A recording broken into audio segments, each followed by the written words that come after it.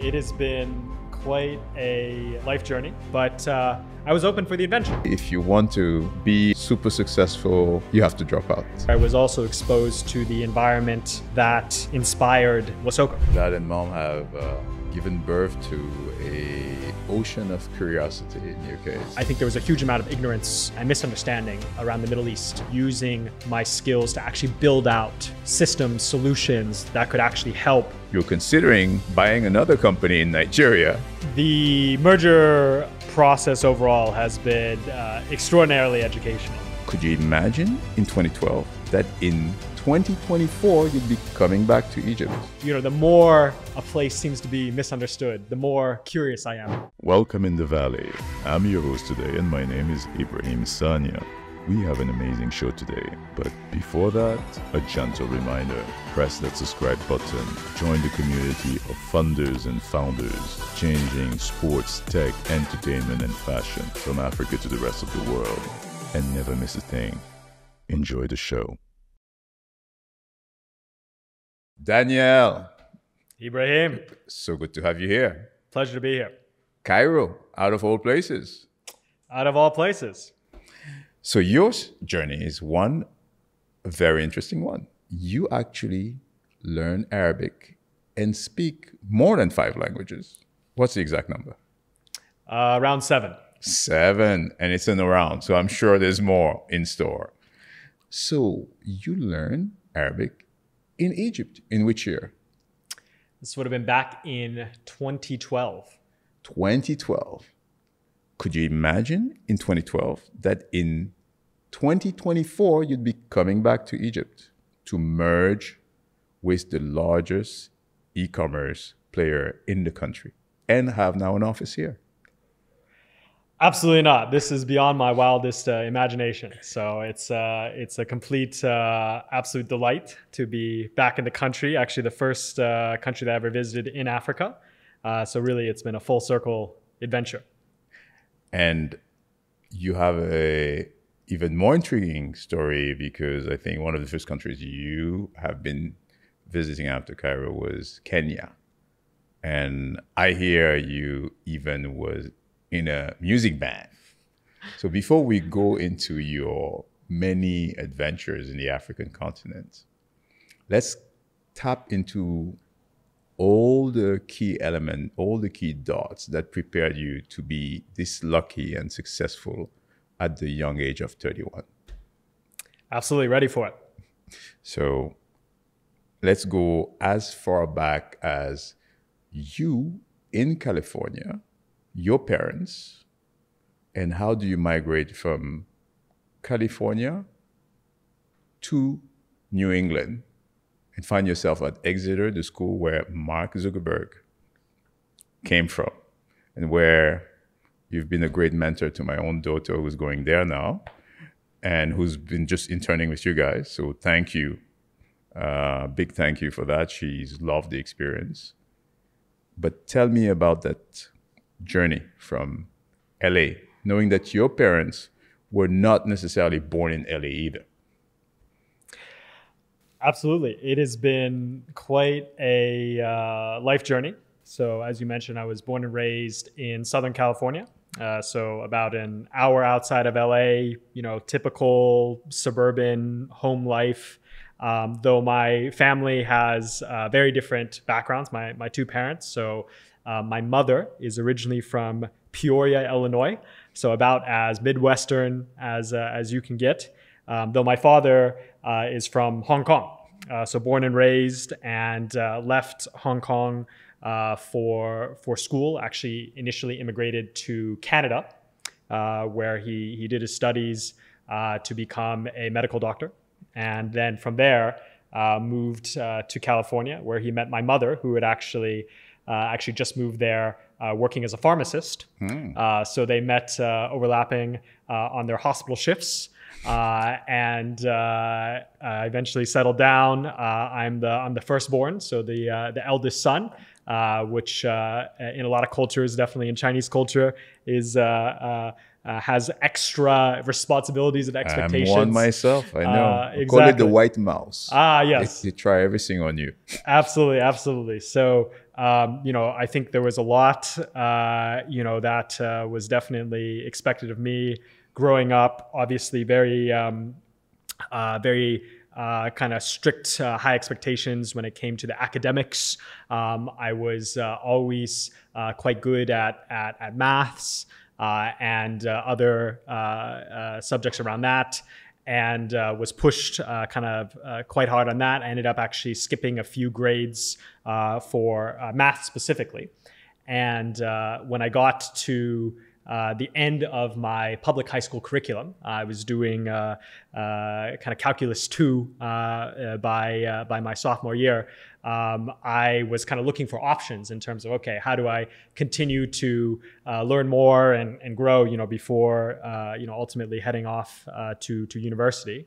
And I happen to have a, a maths teacher who, in fact, um, had done a workshop at uh, Exeter, uh, the, uh, uh, the, the boarding school out in out in New Hampshire, and uh, he actually recommended it to me and said, "Look, um, this this this school is is amazing. You know, they have these very unique methods of teaching. You know, all these advanced subjects, and you know, I think you could you could really thrive there." Uh, and uh, I knew nothing about any of this kind of prep school, private school culture. You know, I'd gone to public school my whole life, um, but uh, I was open for the adventure. And I think uh, part of that also kind of goes to the cultural background as well uh, having been raised, uh, you know, with with parents from from different places, um, they very much encouraged me from a young age to travel, to learn languages. Uh, I had spent uh, by the time I was I was 15, I'd spent you know the summer in in Western China by myself, mm. and and different things like that. So I think the idea of you know leaving home, going to this you know completely foreign environment, New Hampshire, was was was was was just as interesting to me, and went there had uh, you know, two of the most uh, formative years of my life, uh, and then uh, kept uh, kept traveling and, and exploring more from then. Clearly, uh, dad and mom have uh, given birth to a ocean of curiosity in your case, because uh, you were open to traveling, open to new schools, open to new experiences, and how did Africa come out of the map? Great, uh, great question. So interestingly, I actually first started learning Arabic actually at Exeter. So mm. once again, this is one of these opportunities that you know at a normal American high school, you're not going to have an yeah. Arabic uh, studies class, but there happened to be uh, an, an instructor, uh, probably my favorite teacher to this day, Mr. Jabari, uh-huh. Ustez, and uh, he uh, uh, offered an introduction to, to Arabic course. He was Moroccan, interestingly, mm.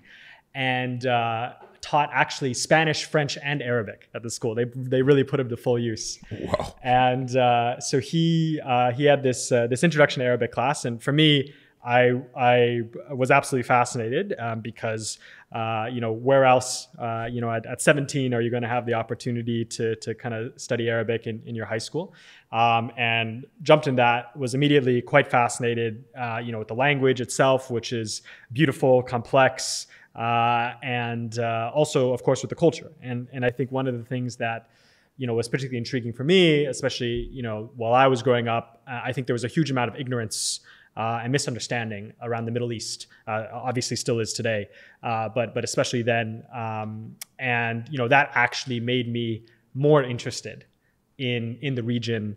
Uh, in in in the societies, uh, and I think that's something that continues to me to this day, which is you know the more a place seems to be misunderstood, the more curious I am about it, mm. um, and that continued with me uh, into my university studies. Um, so I, I, ended up at the, the University of Chicago, um, where I was in fact studying uh, uh, computer science, linguistics, and Middle Eastern studies, uh, wow. which is kind of a strange combination. But uh, so you also had three majors. yeah, well, didn't finish any of them, as I'm sure we'll get yeah, to. Yeah, because we'll get to that. Because yeah, you, yeah. you, like Mark, another dropout. Oh, you like Mark and Steve Jobs so basically, if you want to be a dot com super successful rock star, you have to drop out.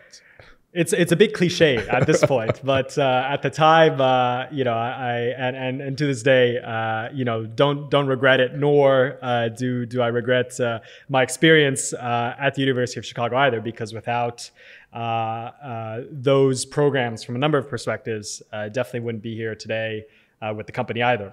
Um, but it was it was through my uh, initial kind of continuation of studies there, Arabic, that I ended up doing uh, this exchange program, this study abroad program, uh, which brought me to Jordan and, and also to Egypt, mm. which was the first time that I had actually uh, set foot on, on the, the, African, African continent.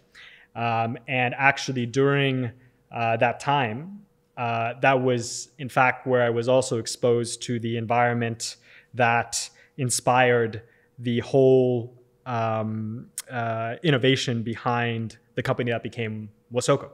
Mm. Uh, and so during that period, when I was just living in a normal neighborhood, I got to know some of the small mom and pop stores that are all around and realized that these were kind of very traditional uh, family run businesses that didn't have any tools or systems uh, to help them manage their store, uh, work with suppliers, uh, or grow uh, their shops. And because of the tech background that I had as well, always, as I said, very interested in math, sciences. And once I got to university, got into coding and became particularly intrigued with this idea of using my skills to actually build out systems, solutions that could actually help people and specifically off the beaten path. So once again, this kind of curiosity of you know the perhaps lesser known places. Uh, mm. I have I have a lot of friends, um, uh, you know, former classmates who have ended up in Silicon Valley, and you know they're working for you know Google or for some you know email content marketing company or Uber for dog walking or whatever these kinds of uh, businesses. But uh, to me, you know the the the real value and interest is where you can go you know slightly off the beaten path to a place that maybe other folks uh, who don't look like me, who don't have my background, uh, who don't have my particular skill set or, or, or, or perspective, uh, you know, are, are also living their lives and trying to find ways to improve them. And, you know, by working together, by, you know, bringing the, the, the best from, you know, all environments, uh, can we ultimately uh, create value uh, and create solutions that, you know, help the lives of as many people as possible. Amazing so in that trip, uh, you eventually finished in Kenya and started your company at what age? Yes. So I arrived in Kenya actually when I was uh, 22. Mm. Uh, so a couple years after the, uh, the, the study abroad in Egypt. Um, and basically, what happened in between that was I got the original idea, this initial idea to build out systems, tools to support mom and pop stores. I was back in Chicago, actually put together this concept for a business plan competition that mm. the, the, university ran. Um, uh, wrote up this whole business plan, uh, gave the pitch, uh, was evaluated by you know all these uh, business school professors and whatnot, and ended up actually winning a prize uh, and a bit of funding. I think it was ten thousand dollars. So everything got started with this you know kind of ten thousand dollar check, and that was actually the excuse that I used to drop out of school. So. Uh, I, I remember very clearly kind of having the, the, the conversation with my father and basically saying, look, you know, I won this competition, you know, got this, uh, this, the, this $10,000. Uh, and I really believe in this. I really believe that, you know, this can be, um, you know, a solution can be a business that can help people, uh, you know, who need it a lot more than, uh, you know, your average, uh, you know, tech company customers uh, in the US. And, you know, he was very skeptical, um, but he said, you know what? Uh, I'm I'm proud of you for when I go out there and actually build something, you know, and and and you know, uh, make make a difference in people's lives. So you know, you can give it a shot. You're going to be on your own. Like don't don't expect me to, uh, you know, kind of uh, pay your, way to do or your GP or uh, exactly exactly. I'm not going to be Tiger Global. Exactly. Yeah, yeah, exactly. he, uh, he he was uh, uh, you know made it very clear that that I needed to figure it out myself, but uh, you know did not stand in the way, uh, and that's something that I think especially for him, you know, his uh, his generation, his background um, was a, a very uh, you know unexpected uh, uh, thing thing thing to do. Um, so you know, forever grateful to uh, my parents for uh, giving me that Yeah. uh, that space to take a leave of absence uh, uh, that uh, eventually uh, enabled me to to kind of fully fully dedicate myself on this path. Amazing. No, kudos to to your parents because it's not an easy as a parent myself. We always wonder what happens a day when the real business plan of the real owner comes up. 'Cause that's the toughest part to be a parent. You kind of guide, you find yourself on the wheel, but you often forget that it's not your car. So, thumbs up for daddy for realizing that it was time for him to let you drive and sit in the back. And when you created the company, obviously with a lot of success, by age 27 or 28, you're raising a Series A or B, uh, $125 million. What was the cap table membership? There was Tigers Global and who else? So our, our Series B round was uh, co-led by Tiger, Tiger Global, as well as Avenir Growth. Uh, so uh, absolutely uh, fantastic investors, uh, joined by a number of other uh, fan, fantastic uh, supporters as well. And the Uh, valuation was already over $600 million. uh, yes, just over six hundred million dollars. Wow. And uh, and by then, uh, you guys had already reached a revenue run rate of what? Uh, over two hundred million dollars in, in in annualized. Uh, revenue. Wow. Wow. Wow. Wow. And then obviously, fast forward, uh, not being willing to be constrained by one market, being a true Danielle that uh, parents from Hong Kong and California find yourself in Kenya, and you and I had a lot of dealings when you're considering buying another company in Nigeria and then another one in Ivory Coast. But the time at the bar, the dating scene was not. You discovered that Egypt was the place where you were going to find the marriage material. So tell us about uh, the merger.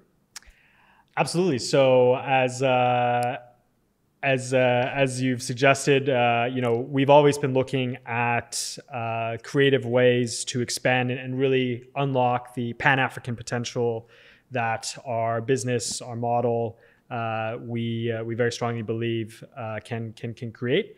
And so, you know, Wasoko, uh, even though uh, was initially inspired by my time abroad uh, here in Egypt, we actually got that going. We got that launched in Kenya. Uh, and that was due to the connections and the introductions that I got originally, leading me to first uh, establish the commercial partnerships uh, with some of these consumer goods companies uh, in East Africa. And so we built up the business in East Africa, Kenya, Tanzania, Rwanda, and then started looking beyond the East African region at how we could continue uh, to expand our footprint and you know the best way to do that. And in our different discussions, uh, what we realized is that you know if we can actually partner up with someone who is a true domain leader uh, in the region as well, that's ultimately going to be what gets us the farthest. Um, you know, there's the, the the famous proverb: "If you want to go fast, go alone. If you want to go far, go together." And I think that's absolutely uh, what we saw, and in our mission, which is how do we help as many communities across Africa get more for less? We realized that we needed to combine forces with other regional leaders uh, to really uh, unlock that potential. And so, uh, MaxAb, we um, had been very familiar with since we actually both raised our seed rounds back in 2018 from the same lead investor. So 4DX Ventures led Wasoko's uh, seed round as well as MaxAb's. Uh, and so I got connected with Bilal back then, so over six years ago, and uh, you know realized that we both wanted to build the same thing. Uh, we had the same vision for for what uh, e-commerce and you know a tech-enabled platform could unlock and create for African mom and pop stores. Um, we were just starting from different regions. So I was in Kenya at that time. Bilal was in Egypt. Um, but we said, hey, you know, we can absolutely learn from each other. We can support each other, uh, share notes. Uh, we even had teams visit each other uh, over the over the following years, uh, and uh, built up that relationship, built up that trust uh, until uh, finally came to a point last year. We realized, you know what, you know, now is the time. We both kind of reached the pinnacles of our respective regions, and you know, the time to actually go further together is now. And so that's what ultimately kind of led to the merger uh, coming together. And uh, yeah, very excited uh, to share that uh, we've just closed it uh, as of a month or so ago. For congratulations. That's been exciting, long time coming, and uh, thrilling for all the investors. And thumbs up to 4DX for being uh, a bit of a mother or dad of uh, the upcoming baby. Because in this uh, world of VC investing, there's always a lot of debate whether the VCs are adding value or not. I'm sure you are in many of those chat rooms where whether you're in a chat room of founders or a chat room of VCs, the prognosis is not necessarily the same. But in this case, I'm sure that as a founder, you seem to indicate that uh, the there's a role uh, of value coming from at least the VC circle. I think we've done exceptionally well and, and, had a had a wonderful cap table. Our early investors going all the way back to the seed, um, which, as I said, 4DX led to the the Series A, which was led by Quona Capital, uh, to the Series B, which which we talked about. Uh, we, we really have had excellent investors, mm-hmm. shareholders uh, throughout the journey who have been very supportive of the vision and, and also helped uh, to you know push back and and and correct you know when mm. uh, you know maybe uh, some of the directions or the ideas that we've had uh, you know haven't uh, been uh, you know as aligned with the vision and with the potential that we all see.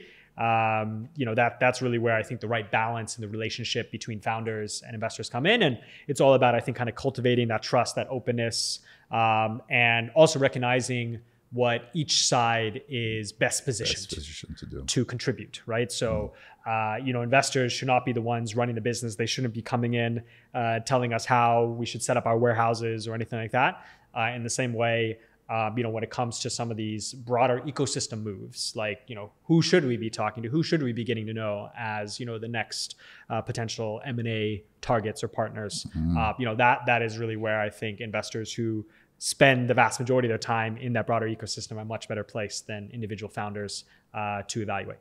And uh, I'm curious to first, super congrats. We're very happy to to have you uh, announce it on the show, and obviously we've seen all the coverage on the news. It's been uh, the biggest deal this year.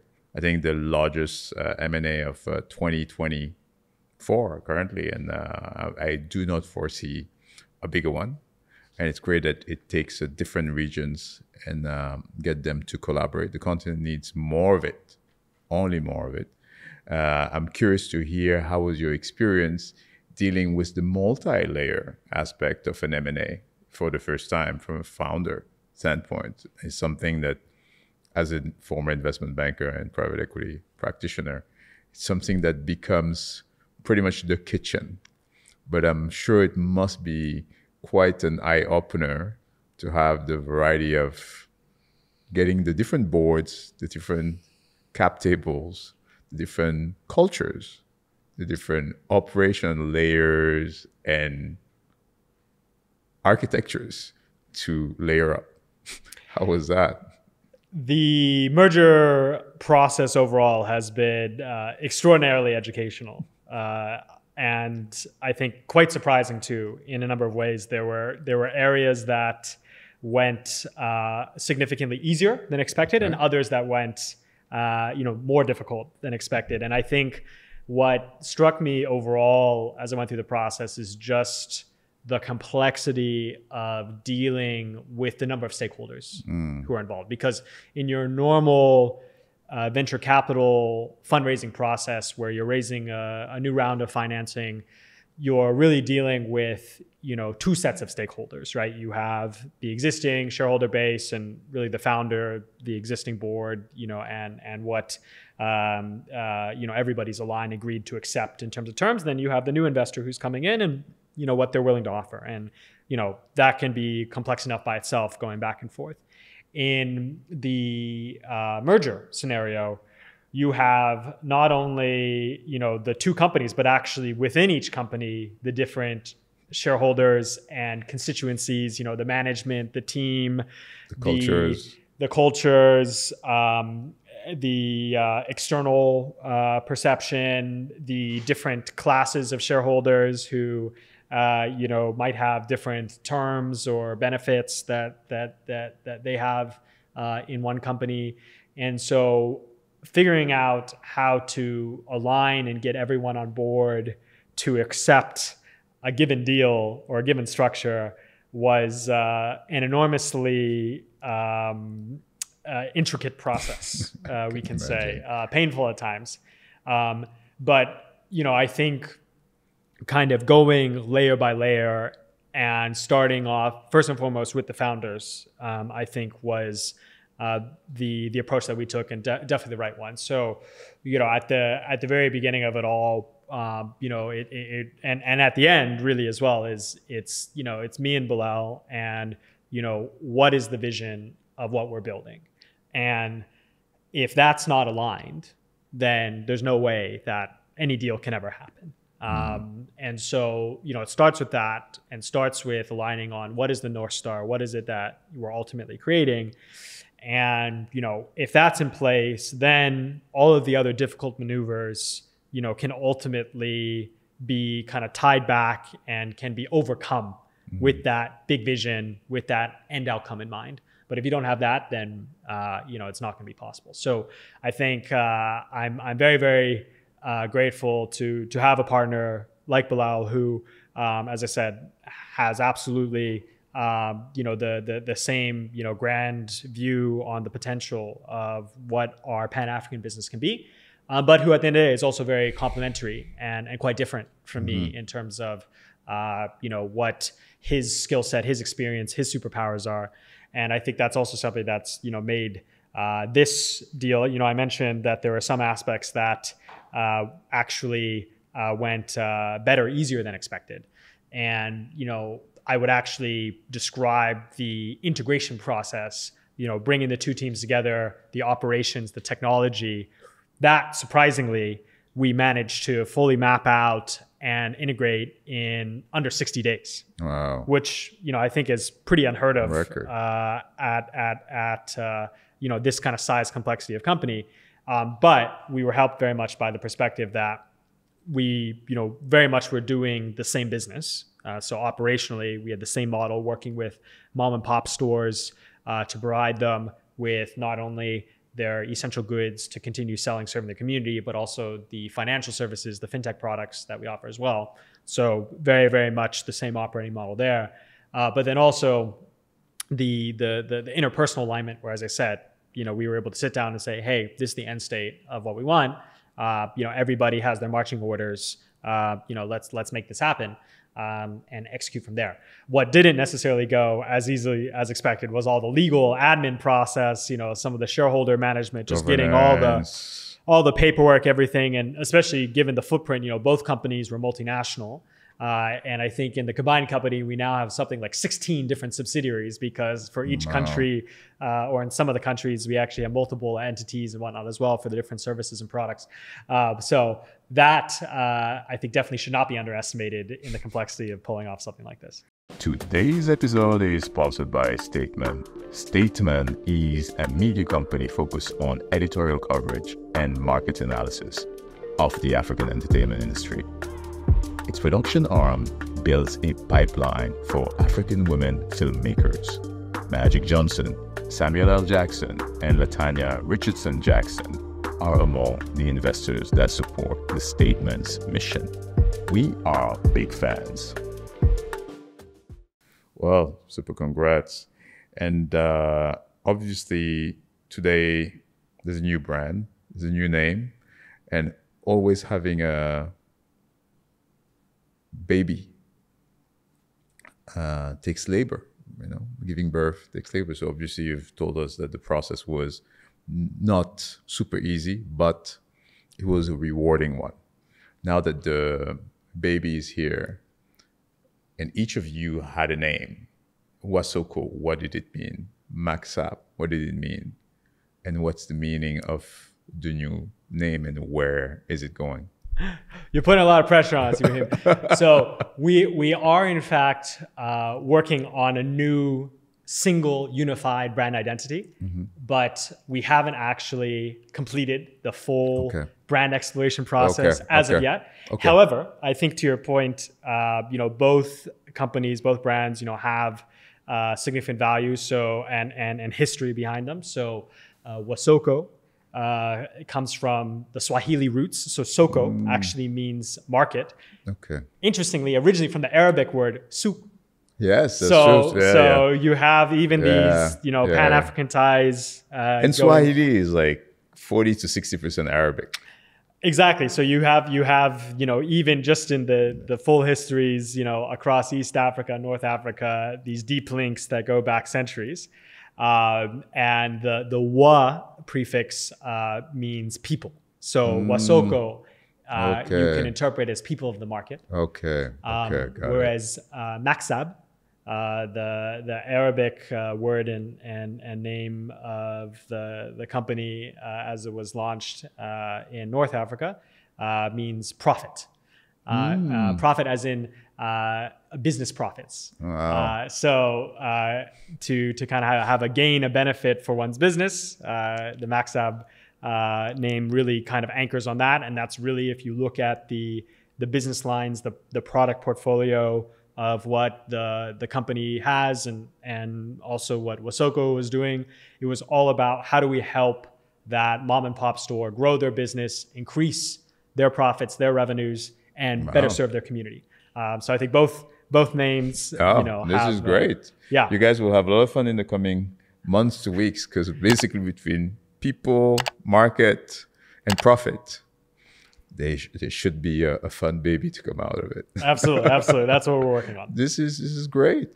How about uh, the vision ahead? Now that the two entities are merged, the region, the coverage now is how many countries and what's the collective vision in this current stage of tech history, African tech history, and uh, many changes occurring at the same time.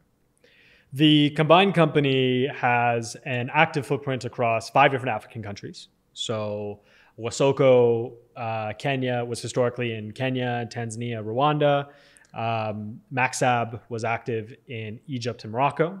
Um, so the combined company now has five.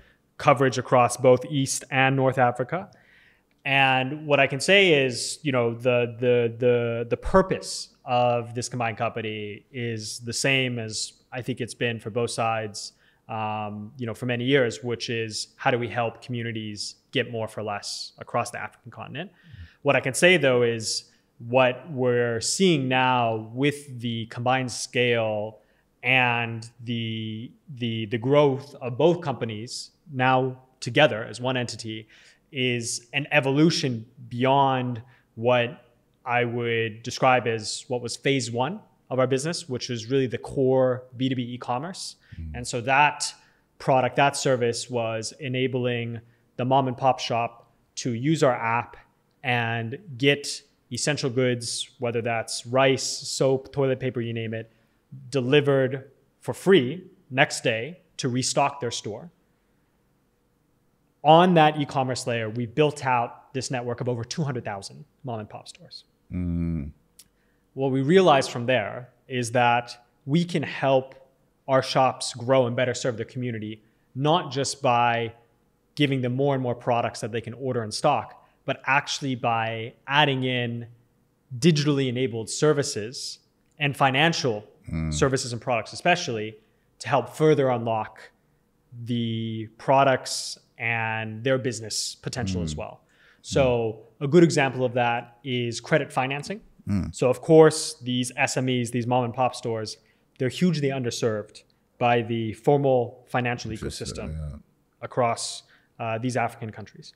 And so, what we've done is using the data and using the, the network built out on the e commerce side, developed our own in house credit financing algorithms and now financing, mm. whereby we extend working capital to mm. these mom and pop stores mm. based off their activity on the e-commerce side. Mm. And so these shops are able to get access to credit financing for the first time.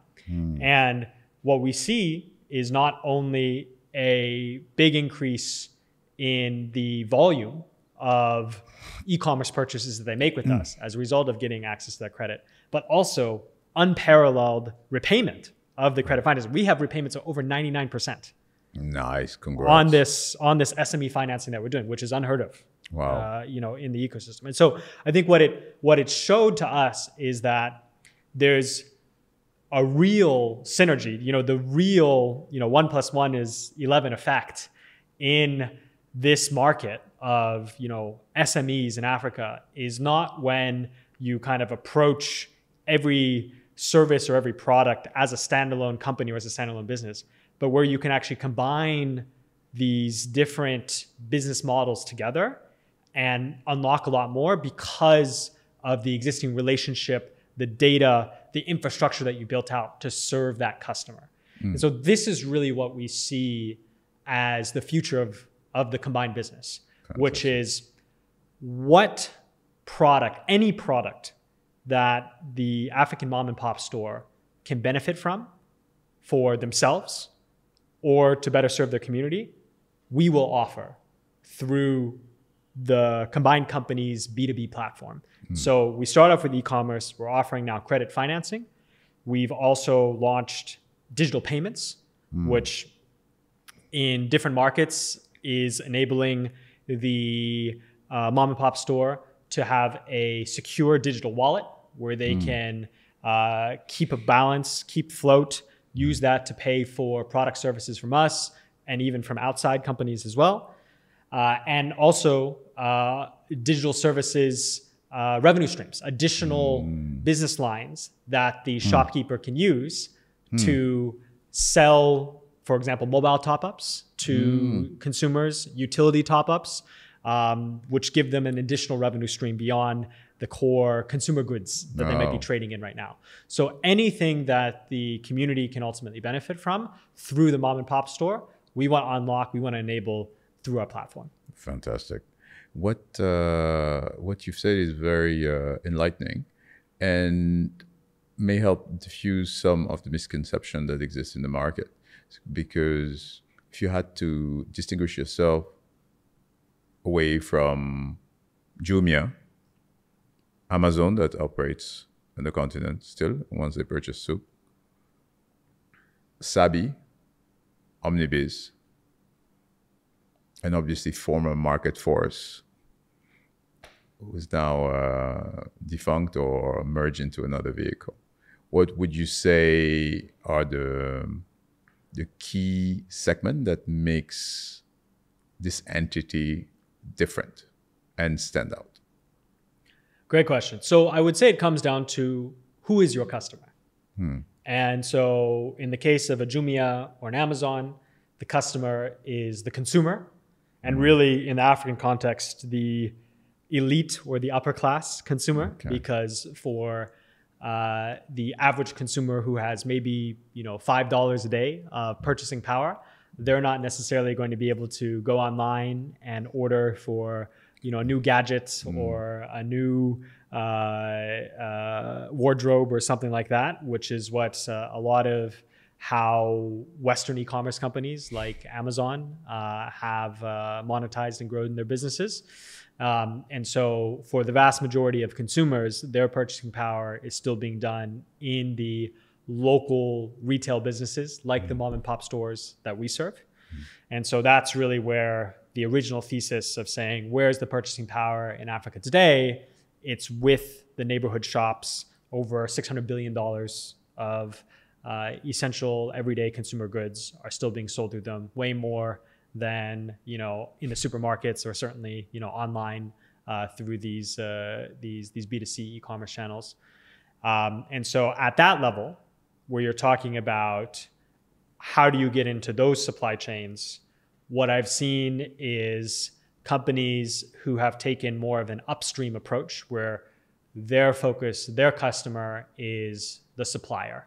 And I think that is definitely what some of these other players, you know, when you're B2B, yes, you're serving both sides, but ultimately you're going to have to focus your innovations, your your your your product development, uh, and you know, in some cases, there's going to be trade-offs between, uh, you know, do you help this B or do you help the other sides B more?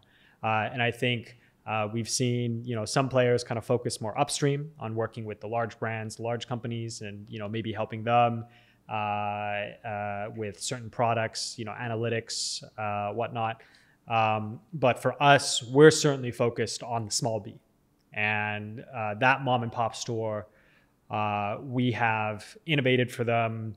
Uh, you know, to give an example of where some of these trade-offs come in, but where I think, uh, you know, we're really kind of leading the pack and and and and using the leverage that we have, uh, you know, to the maximum extent, is uh, we actually have built out a significant private label business now. Mm. And so what we've done is looked at the network of over 200,000 mom and pop store customers that we have. We look at what they're buying. We look at the choices that they have in the different categories uh, that uh, that are offered today, and we actually analyze and come up with, huh, okay, this particular product category, it's actually underserved. There are there are only a few different choices, a few different mm. brands that are available, and based off the data uh, and and and the insights that we have, we realize that you know what we can go custom produce, contract manufacturer wow. um, that product or, or or or a competing product to help give better selection, better value Amazing. to um, our customers through that. And that part of our business today actually drives over 10% of our e-commerce volume. Oh, boom.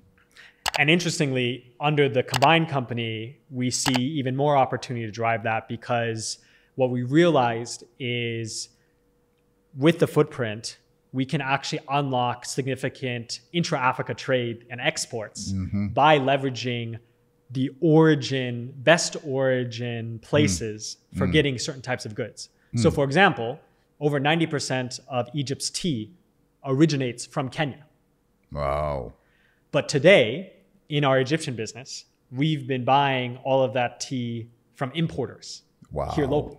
And so, you know, with the combined footprint of the business, now that we have deep operations in both Egypt and in Kenya, some cost efficiency right there. We're able to go directly to the source and say, "Hey, let's get the tea. Let's let's let's whatever the consumer preference is here in Egypt, we can make sure that we develop that blend, you know, that packaging, that style, that taste profile get those products produced, packaged at the source in Kenya, export them directly ourselves into Egypt, and ultimately provide that at the best value, the best quality possible to our Egyptian customers, you know, here in Cairo and, and across the country. And wow. that's only possible because we have the combined footprint that we now do. Fantastic. I think uh, you guys may even uh, rebrand your activity retail commerce intelligence this is like a form of uh, artificial intelligence base for the B2B. Well, no, that, that that's phenomenal. Uh, really thumbs up for that. And definitely it's clear that you guys are, are striving. Having that coverage is only going to permit you to be better, more dominant, and more salient in your actions for the benefit of the retailers. We will now double click back to a segment of you in Kenya. We hear that you used to be in a band, music band. Tell us about that time. You're uh, you've done you've done your homework. So I uh, yes, uh, in fact, uh, was uh, in a band, uh, the Beat Hogs, as we were called. Um, uh, still going today. Unfortunately, I've uh, I had to sub out uh, as I've shifted up here to uh, uh, to Egypt. But uh, Beat Hogs, I believe, were East Africa's best, but probably only funk cover band. and so, yeah, I was playing playing the keys, playing playing piano uh, along with uh, nine other people uh, in the band. So we were a proper, wow. big-sized uh, funk uh, funk disco group, and uh, yeah, we had a blast playing playing around all the top spots in Nairobi. did weddings, birthdays, wow. special occasions. So so you must know Peng. Yes, yes, very much, very much. So uh, we were we were regulars uh, at the Alchemist at his uh, at his joint uh, in Nairobi. Wow. Uh, yeah, uh, and it was a, a fun kind of double life to have. You know, sometimes I'd be out playing a gig, and then you know I'd have people come up to me who I knew from the from the tech world and say, "What are you doing back there?" That's amazing. Well, with that music experience, then you can answer easily these personal questions. So we're going to close out with uh, a bit of personal um, of you. So if you had to pick a chief orchestra, maestro of your life, who would that be? If you had to pick a pianist, one that really provides the regularity of the melody, who would that be? And then if you had to pick a percussionist, the drummer, who would that be? Because you've had a very busy, multi continent, multilingual life, but who are those mentors, reference, guides? Wow, it's quite a quite a ensemble to to, to put together here. Um, let me uh, let me put this together. I'd say um, as far as the uh, the drummer, uh, you know, who's who's been uh, you know keeping me on track, uh, driving driving the beat, uh, making sure that that that things uh, stay stay consistent. I definitely say that's it's my new partner Belal. Um, right. So as I said, you know, nice. he's he's really